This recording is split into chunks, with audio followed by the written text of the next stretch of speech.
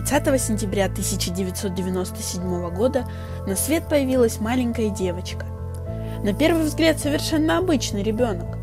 Как и все дети, она росла, и в 4 года в ее жизни появилось нечто волшебное и восхитительное. В ее жизни появилась художественная гимнастика. С раннего возраста она отличалась от своих сверстниц, занимавшихся с ней. Легкая уверенная техника совсем небольшого ребенка покоряла судей и помогала ей подниматься на верхнюю ступень пьедестала. Ее успехи и старания не оставались незамеченными, и она попала в сборную России. Выступая в юном возрасте на всероссийских и международных соревнованиях, она запоминается зрителю как легкая, воздушная и прекрасная гимнастка.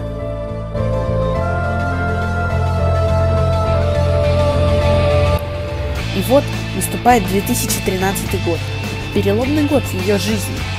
До этого года девочка отличалась от всех своих соперников, но не показывала свою уникальность во всей полноте. Соревнование за соревнованием она доказывала, что она достойна представлять нашу страну на чемпионате мира. Многие говорили, ей же всего 15, как же она сможет бороться с гимнастками, выступающими уже много лет на таком высоком уровне? Но она доказала миру, что для нее нет ничего невозможного. Она доказала, что и в 15 лет можно покорить любую вершину, став чемпионкой мира. Имя этой девочки Яна Кудрявцева.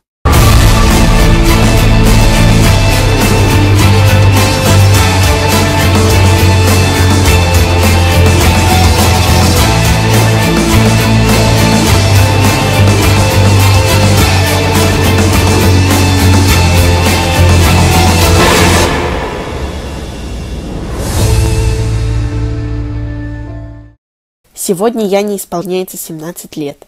В свои годы она имеет звание заслуженного мастера спорта, а также является восьмикратной чемпионкой мира.